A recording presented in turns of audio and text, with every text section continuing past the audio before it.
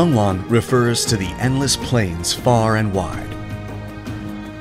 The progress line of Pyeongwon Poomsae that represents the human will to control the body and mind, to protect the peaceful plains from domination and pillage, is the character Il, which means one.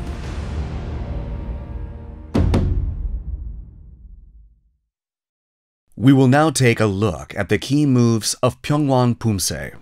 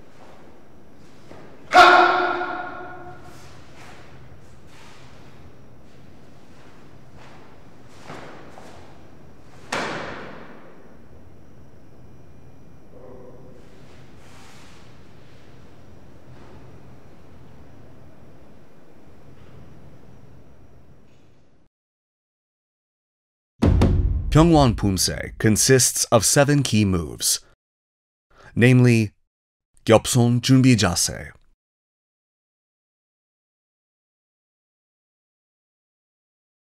팔꿈치 올려치기, 고드로 얼굴 옆 맞기, 당겨 둥주먹 앞치기, 멍해치기,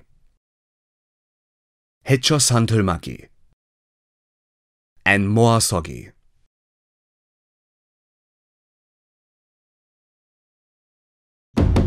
We will now take a closer look at each of the key moves of Pyeongwon Poomsae. Gyopson Junbi Jase is a preparation posture in which both arms straighten from Moasogi. The left hand is placed over the back of the right hand in the shape of a cross. The hands should be slightly apart from the body in front of the lower abdomen, with the palm of the left hand placed over the back of the right hand in the shape of a cross. Prepare the fingertips of both hands together, and your fingers should not be spread apart. 팔꿈치 올려치기 is a technique to strike upward using the elbow. The basic target is an opponent's chin, but it can also be used to strike the solar plexus, chest, and other areas.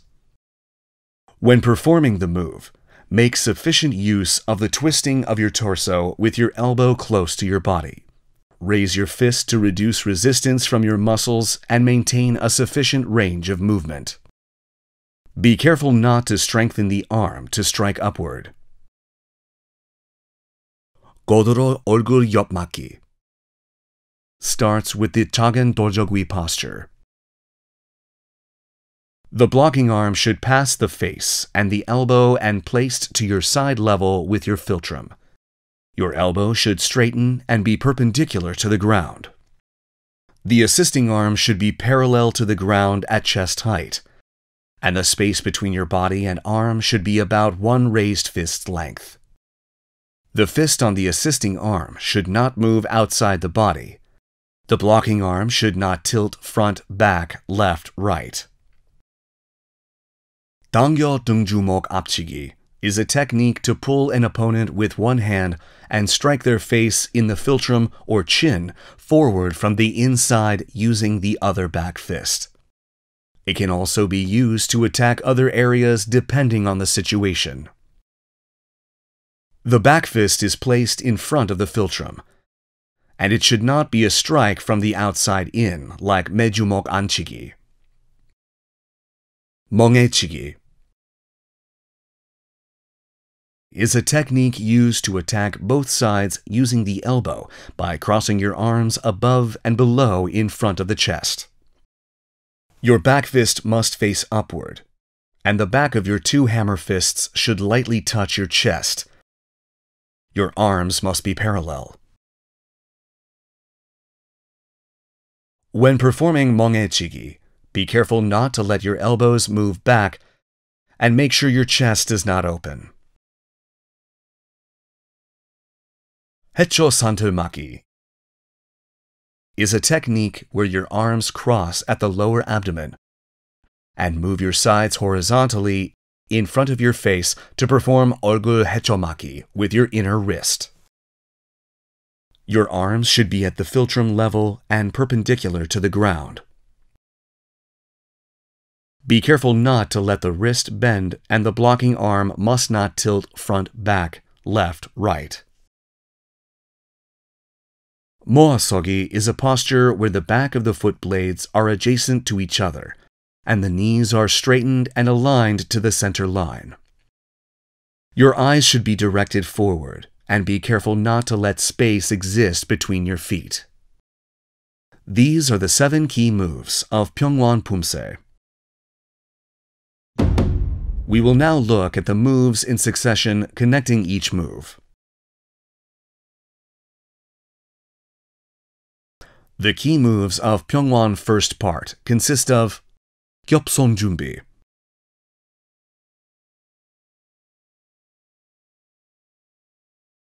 Are Hechomaki.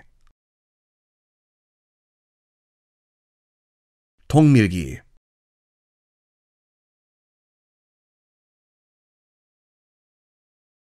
and Odin 오른손날 Aremaki. There are no cautions you should be aware of in Pyeongwon first part. We will now practice the moves of Pyeongwon first part in succession while watching the video.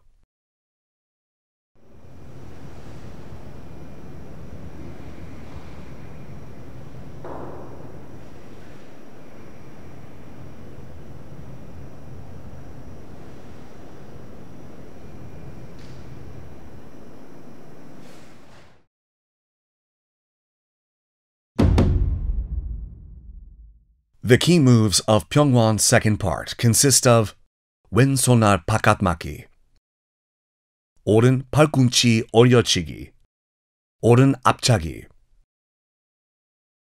왼풋 몸돌아 옆차기, 오른 손날 꼬드로 막기, 오른 손날 꼬드로 아래 막기, and 오른 안팔목 꼬드로 얼굴 옆 막기.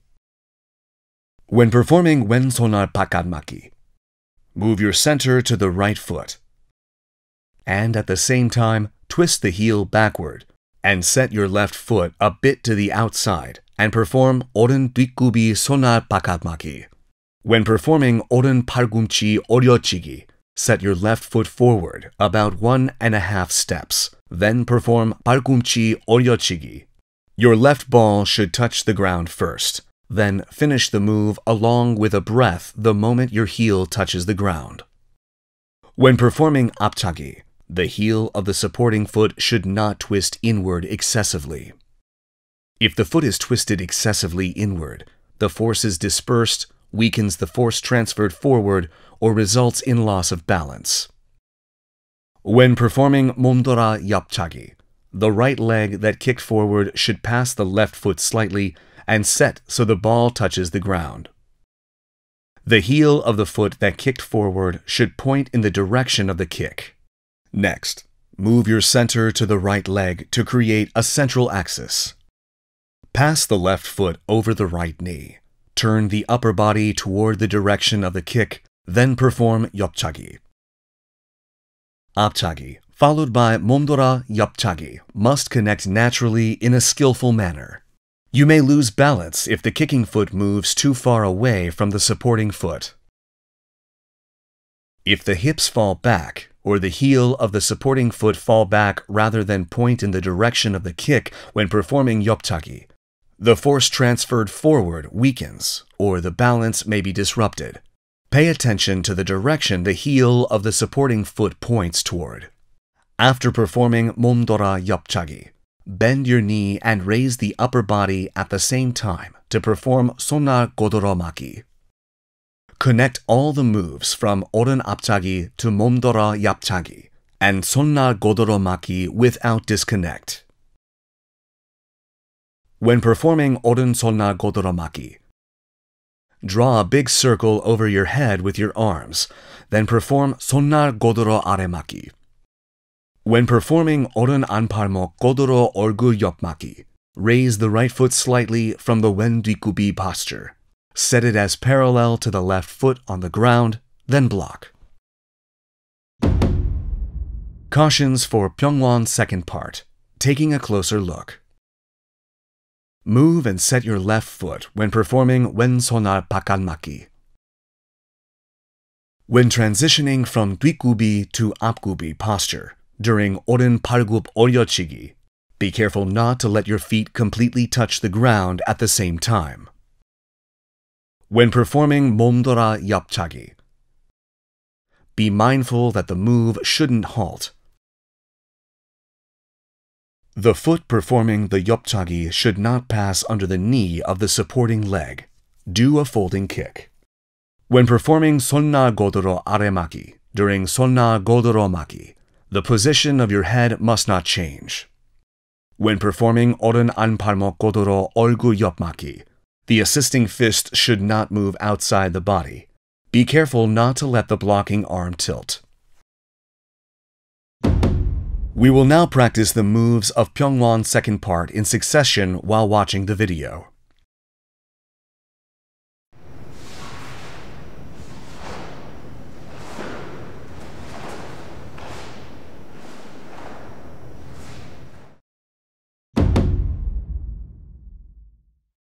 The key moves of Pyeongwon third part consist of Dangyo Dungjumok Apchigi.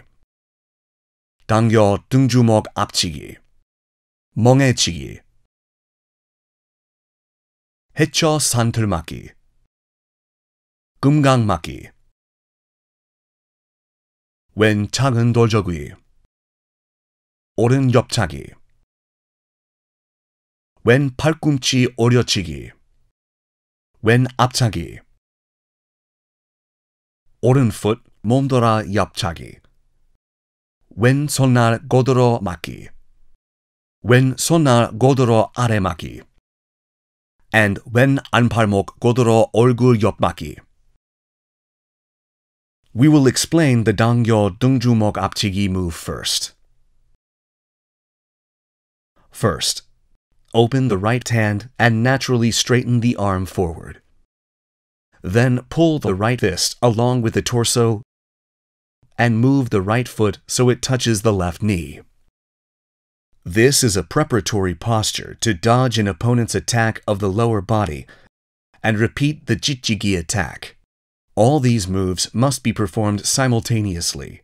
Remember the moves explained previously. Perform the preparatory moves.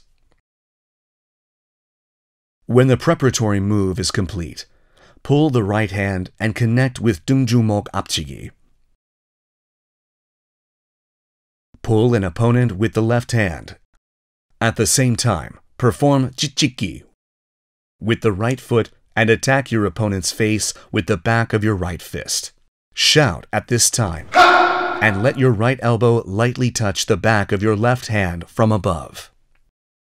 When performing Dangyo Dungjumok Apchigi with the left hand, pull the left hand back, lightly straighten the right fist forward, and at the same time pull back. Strike an opponent's face with the back of your left fist. Do not perform jichigi at this point. For mongechigi, perform koasogi by crossing your left foot in front of your right foot. Cross your left arm over your right arm in front of your chest, then strike both sides with your elbows. Pull your right foot while performing gumgangmaki. Tagen Dojogui is a move connected to Gumgangmaki. Elevation of the stance should be maintained. Your eyes should point in the direction of progress. Oren Yopchagi is performed from Hakdari Sogi while maintaining Chagun Dojogui. When performing Wen Palgumchi Oryochigi, complete the move the moment the right heel touches the ground. When performing oren foot Momdora Yopchagi, the left kicking foot passes the right foot slightly and set with the ball touching the ground. The heel of the kicking foot points in the direction of the kick. Move your center to the left foot and create a central axis. Move the right foot past the left knee. Turn your upper body in the direction of the kick, then perform yopchagi. Apchagi and Momdora yopchagi should be performed in succession. After Momdora yopchagi, Fold the knee of the kicking leg while raising your upper body to connect to Sonna Godoromaki. When performing Sonna Godoro Aremaki, complete the move by drawing a big circle above your head with your arms.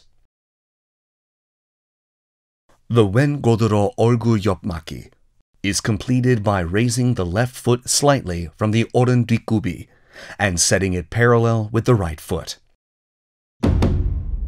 Cautions for Pyeongwon third part. Taking a closer look. When performing Dangyo Dungjumok Apchigi, the assisting knee should not bend.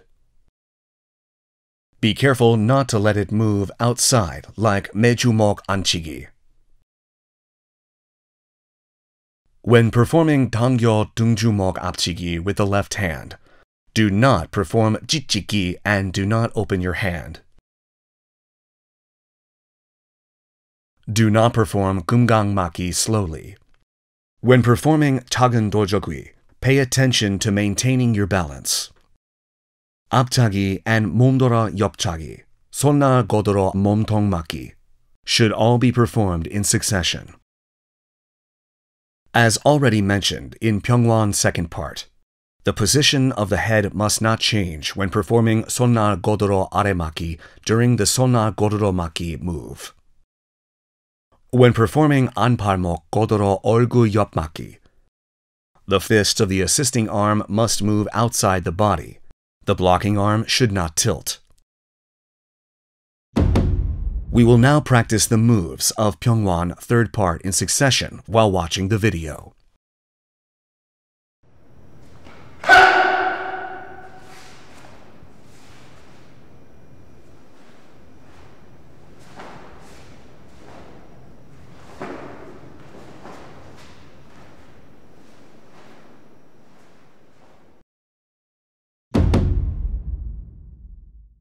The key moves of Pyeongwon fourth part consist of Dangyo Dungjumok Apchigi. Dangyo Dungjumok Apchigi. monge Mongechigi. Hecho Santulmaki. Gumgangmaki. Orin Chagan Dorjogi. Wen Yopchagi. And Orin Palkumchi Pyojokchigi. As we did for the first move of Pyeongwon third part, we will first explain the preparatory move for the Dangyo Dungjumok Apchigi. Open your right hand and naturally straighten your arm. Pull your left fist back along the torso and slightly touch your right knee with your left foot. All these moves should be performed simultaneously Let's now perform the preparatory move we previously explained independently. When performing Dangyo Dungjumok Apchigi, pull the left arm back, lightly open the right fist moving forward while striking the opponent's face with the left back fist. When performing Dangyo Dungjumok Apchigi with the right hand afterwards, pull the right arm back, and lightly straighten the left fist, moving forward while striking an opponent's face with the right back fist. Do not perform jichiki at this time. For mongechigi, perform goasogi by crossing your right foot in front of your left foot. Cross your right arm over the left in front of your chest, then strike both sides with your elbows. Pull the left foot and at the same time perform gumgangmaki. Tagen Dojogui is a move connected to Gumgangmaki. Maintain your stance, and your eyes should point in the direction of progress. Then connect to wen Yopchagi while maintaining chagan doljogwi in the hakdari sogi posture. For the following move, keep your left arm straight as if performing mejumok pakachigi, and keep your arm and leg in a parallel alignment. When performing oren palgumchi pyojokchigi, twist your upper body about 45 degrees and strike the palm of your left hand with your right elbow.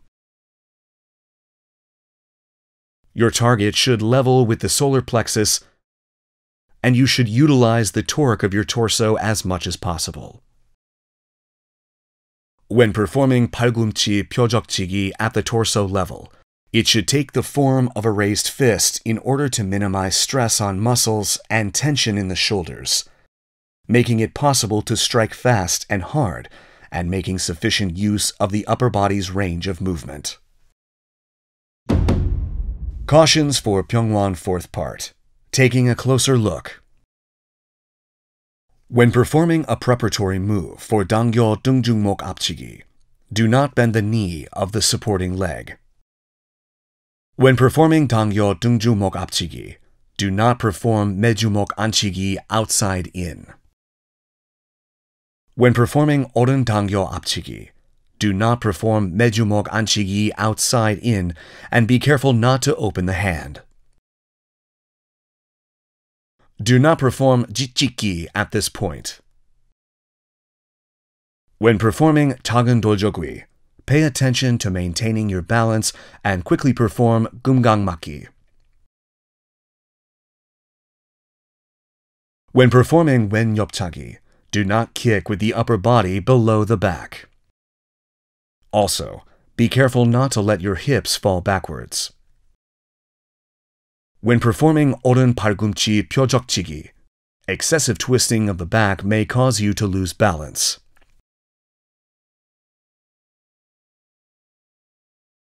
Concentrate on the moves so you do not perform Pargupchigi on your fingers. We will now practice the moves of Pyeongwon fourth part in succession while watching the video.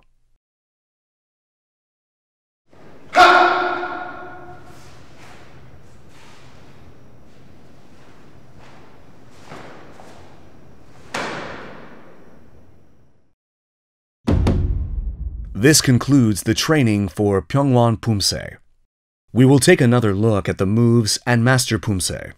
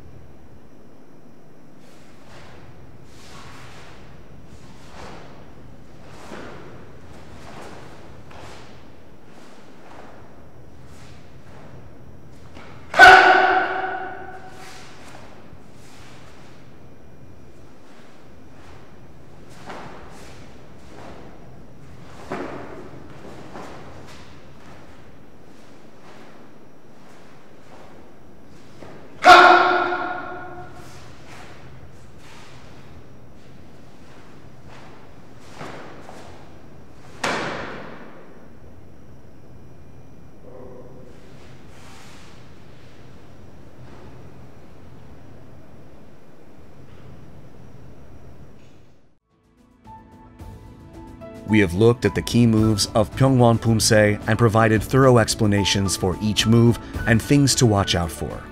I hope this was a good opportunity for a reminder of the far and wide plains and the spirit of struggle to protect the peaceful foundations of life.